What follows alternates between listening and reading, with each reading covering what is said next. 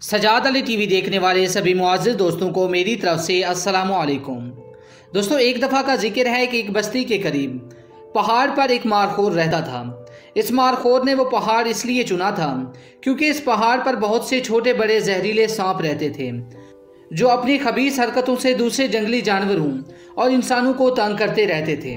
جیسا کہ آپ جانتے ہیں کہ مارخور سانپ کھا جاتا ہے، تو ان سانپوں کا وہ شکار کیا کرتا تھا۔ ایستا ایستا پہاڑ پر بسنے والی انسانی آبادی اور تمام مخلوقات میں وہ مارخور مقبول ہوتا گیا۔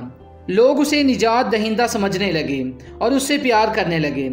دوسری طرف سانپوں میں کھلبلی مچی ہوئی تھی۔ وہ دن رات مارخور کو ڈسنے کا سوچتے رہتے تھے۔ مگر جیسے ہی کوئی اس کے قریب آتا مارا جاتا۔ پھر جب کوئی سانپ مارخور کے ہاتھوں مارا جاتا، تو یہ بات ان کے خاندان میں بڑی عزت کی بات سمجھی جاتی تھی۔ جب کسی سانپ کے مرنے کی خبر آتی تو سب سانپ خوب روتے، آنسو بہاتے اور مرنے والے سانپ کے دوستوں اور رشتہ داروں کی تو اچھی خاصی مشہوری ہو جاتی تھی کہ بیچارہ ظلم کے خلاف سچائی کی جید و جہد کرتا، مارا گیا۔ ایستا ایستا جب ان سانپوں نے دیکھا کہ مارخور کو براہ راست مقابلہ کر کے مارنا ناممکن ہے، تو انہوں نے ایک خطرناک منصوبہ بنایا۔ ایک مارخور اب ہر سانپ کے پیچھے تو نہیں جا سکتا تھا۔ تو انہوں نے سوچا کہ وہ ایک سانپ کو مارخور کے سامنے بھگائیں گے۔ جب وہ اس کا پیچھا کرے گا اتنے میں۔ دوسرے سانپ انسانی بستی میں داخل ہو کر انسانوں کو تنگ کیا کریں گے۔ اور ایسا ہی ہوا۔ اب مارخور کی موجودگی کے باوجود انسانی بستی اور دوسری معصوم جنگلی مخلوقات میں سے روز کوئی نہ کوئی سانپ کے کاٹنے سے مرنے لگا۔ لوگوں میں سخت غم و غصہ پایا جانے لگا۔ کوئی کہتا کہ مارخور کو مار دو۔ خام خواہ یہ یہاں رہ رہا ہے۔ اس کے رہنے کا کیا فائدہ؟ جب یہ کچھ کر نہیں سکتا۔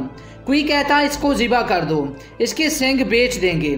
جنگلی جانور بھی بہت پریشان تھے، آخر ایسا کیا ہوا؟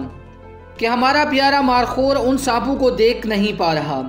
ایسے میں کچھ برفانی لومڑیاں جو مارخور کا گوشت کھانے کی خواب دیکھتی تھیں اور ہمیشہ ناکام رہتی تھیں، میدان میں آ گئیں۔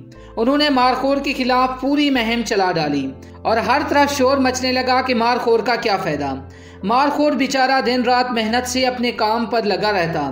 اسے خبر ہی نہ تھی کہ اس سے پیار کرنے والی مخلوقات اب اس کی دشمن بنتی جا رہی ہے۔ اس کے خلاف سازشیں سنتی اور اس کے دشمنوں کی ہر بات کا یقین کرتی جا رہی ہے۔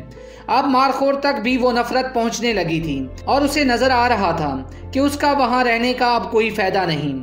اداس دل کے ساتھ ایک رات وہ بستی کے قریبی ویرانے کی طرف جانے والے راستے پر بیٹھا تھا کہ اس نے کچھ سانپ دیکھے۔ مارخور کی بھوک تو کب کی مٹ چکی تھی۔ اس نے ان کا پیچھا نہیں کیا۔ اب سانپوں کو بڑی حیرت ہوئی کہ یہ پیچھے کیوں نہیں آ رہا ہے۔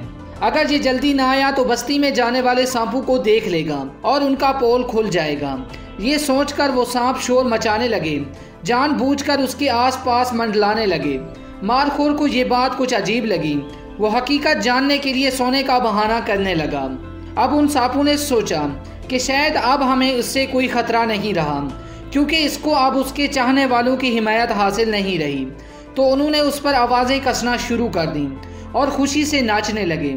ناچتے ناچتے دوسرے سانپ بھی ان کے قریب جمع ہونا شروع ہو گئے۔ اور کچھ سانپ موقع غنیمت جانتے ہوئے بستی میں داخل ہو گئے، جنہیں مار خور نے دیکھ لیا۔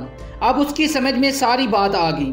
اس نے نہایت پھرتی سے قریبی سانپوں کو ختم کیا اور بستی میں داخل ہونے کی کوشش کرنے والے سانپوں کی گردنیں دبوچ لیں۔